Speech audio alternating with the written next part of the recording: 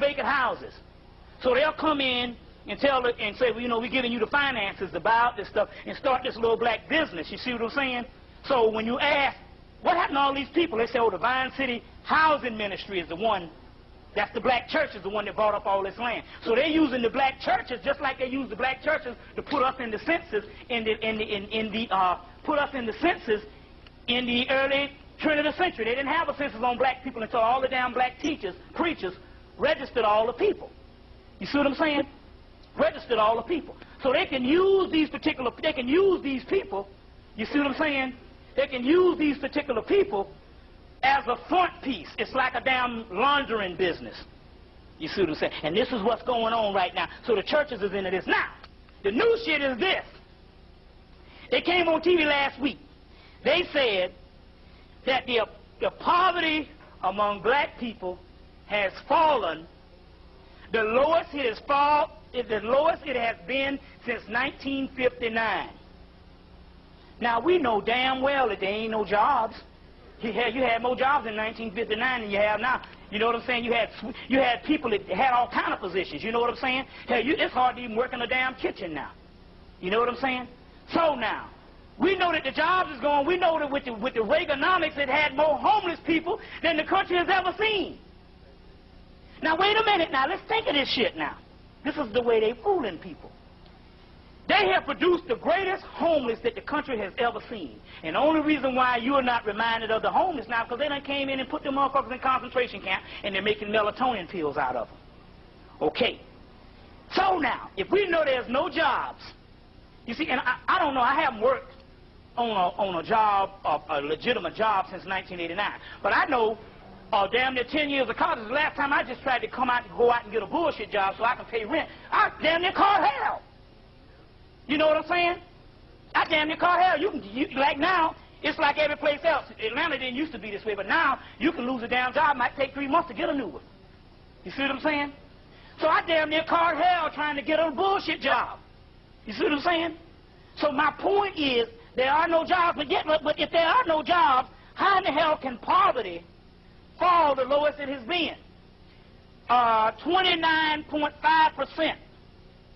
How is that? Because now they're saying that basically they're telling you the truth. The people that was in poverty no longer exist. So therefore, the poverty has fallen, the lowest it has ever been. Now let's look at the magnitude. We got to go back and think a minute now. Listen, they came in and say that the poverty has fallen the lowest it has been since uh, since 1959. Yet in 1959, 1960, you had the unemployment rate was not as big as what the hell it is now. You understand where I'm coming from? Uh, uh, now, one minute they talk about we're spending too much money in welfare, affirmative action. We can't do the health care, and we're running out of money. The country going to be broke. The country, and we already know, the conscious people know the country been broke since the 1950s, right? So now, what they're actually saying, that in actuality, that the people in poverty no longer exist. So it's not saying that poverty has fallen. They're saying that the people in poverty have fallen off the planet and became so low now since 1959 have actually died. And these are the these, these are the way they say things. You see, these are the these are the way they say things. You see what I'm saying? So now, look at this. They even bear witness to it in the scriptures. Uh, you see, the Bible See, you got to trace this thing down, because when you're dealing with the Bible, you're dealing with a very bastardized book. Although we prove that there's wisdom all through it, but it's damn near like connect the dots. It's in fragments. And so we're talking about years and years of people coming in and carving up shit. So what we're going to do is we're going to go deep into the scriptures. So now, the original scriptures of the Bible is the first four gospels, or the complete gospels. This is the one coming from um, this comes from um, uh, the guy is Robert J. Miller is the editor, and these are the complete Gospels.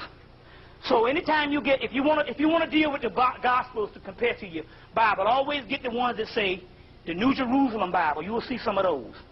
Or you can get this book, the Complete Gospels, which is only talking about first four Gospels, because we're not a full, full first four Gospels, which is what uh, Mark, Matthew, Mark, John, and Luke. You see what I'm saying? But in here, they're going to add other ones. The book of Q, the gospel of Thomas, the gospel of James, the gospel of the Savior, the gospel of Mary. The go you see what I'm saying? Now, what is this? I'm going to explain this thing to you. So if you want to get the real ones, anytime you see that book with that line down the middle of the page, that's not the one you want. That means that they done carved up some shit. The one you want to get is this one, the complete Gospels. It's, uh, this one costs, um, you'll find this book in, in, in any of the stores. They're going to have some in here. Uh, but you can find this book in any, any, any of this, uh, um, Polebridge Press. But it's the complete Gospels by Robert J. Miller.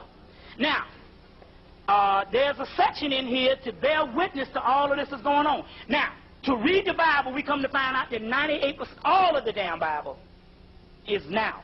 Never happened in the past. You see. Somebody took some scriptures that was all mystical and prophetic and wrote it, historicalized it. And that's what's fucking up everything. We're going to get deeper into that tonight. Look, this is the part of Matthew that I want to read. And it says this. And the, the disciple, this is in Matthew, Matthew 17. You can get this right out of your Bible. Matthew verse 17, Matthew 17 verse 4 to 25. Matthew 17 verse 4 to 25. This, fortunately, is right in your regular King James Version. And it says this. It says, the disciples quoted him. They, they're quoting Jesus. They say that in the light of this, do do they say do the scholars claim that Elijah must come first? So they're saying that Elijah must come first. That's what the Jewish nation is on hold now. That's why they all fucked up. They've been looking for Elijah, but they're the fake Jews, so they can't receive the Elijah, but the Elijah came here. That's why they went to Ebony in 1983 and told Ebony, you got to change his name from Elijah to some some Wilford Poole or some kind of shit, because they knew that we got the Elijah. Now they say Elijah must come first. And it says, in response, he said that Elijah does indeed come to restore everything. So we're talking about in a period of the 20th century. You see what I'm saying? Because he was born 1897, and so he didn't come until 1931 when he got the actual teaching. You see what I'm saying? Now, so some people don't believe this shit. Well, listen. The scriptures say that Elijah must come. In Egypt, they say Tahuti must come. You see what I'm saying? In, in Hebrewism, it's Enoch or it's John in Christianity, it's Elijah, it's Enos also that must come. In different cultures, there's supposed to be a forerunner to the Christ that was supposed to come and set straight, set, set shit straight. So now, whether we say we don't believe that or not, well, hell, if this, if this is going into the year 2000, even when the Christians say that the Christ is coming, and if we are just going to take the Christian script, that means that Elijah had to have come to restore the nation, he had to do it more than damn four years. You see what I'm saying? So obviously, we can bear witness that that was the one because it says in all ones that it would, would be a forerunner. Now, this is what it says. Elijah does come and to restore everything. But I tell you that Elijah has already come. So now, this is the future. Whoever is speaking is speaking right now in the future. And when we say speaking, we're talking about the knowledge that we are receiving now. That's the speech. Is the, is the book that you're getting because we wrote the books years ago for you to pick up now. You got it? Now it says this. Elijah has already come, and they did not recognize him. Oh, damn, that's true. This person came. We didn't recognize this person as no biblical er-, Elijah. You see what I'm saying? The, the, the, the Islamic people recognize him as a, as a heretic based on Orthodox. You understand what I'm saying?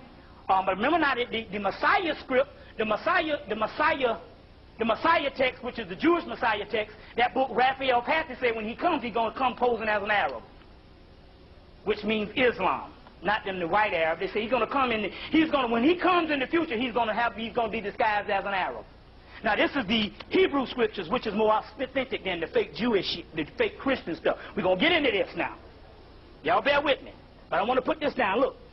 And they say he has already come. So we're talking about we're talking about somewhere now. So he's already come. Well, when did he come? He came in 1931 to 19. Well, he he well he came in 18 something. But we'll say that when he came into the knowledge. That's when they talk about whenever you only live when you come into the knowledge of self.